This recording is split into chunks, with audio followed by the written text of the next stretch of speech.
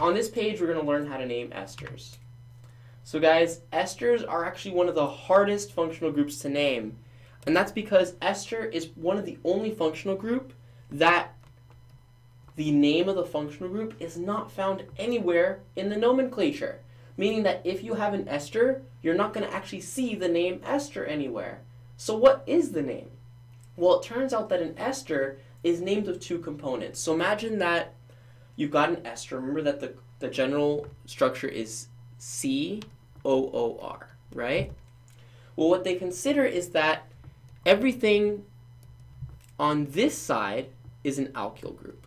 Okay, so you name this as an alkyl group. And then the way that they name the other side is they think, well, this looks a lot like this side here, looks a lot like a carboxylic acid, but without the H. What do you call it when a carboxylic acid is missing its H? You call it a carboxylate, okay? So it's an alkyl carboxylate. That sucks, right? So we name it as an alkyl carboxylate. And you have to determine what that name is going to be.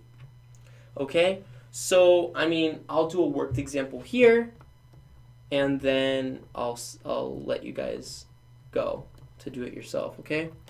So, here, okay? We've got an, uh, an ester, obviously, and we have an alkyl group and a carboxylate. So the way we would name this is the alkyl group is ethyl, okay, two carbon chain, and the carboxylate could be named in one of two ways. It could be named as the common name, which would be a two carbon chain, which would be acetic acid, okay, which would be acetate, right? Because acetate is the negative anion. Or that's in the common name. Or it could be named as ethanoate. Because it's ethanoic acid, so that would be IUPAC.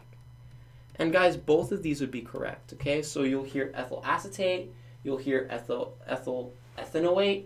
Um, obviously, acetate is way more common. You hear that everywhere. So ethyl acetate would be the name of that structure there, okay? So let's go ahead and move on to this practice problem. Let's see if you can get it right.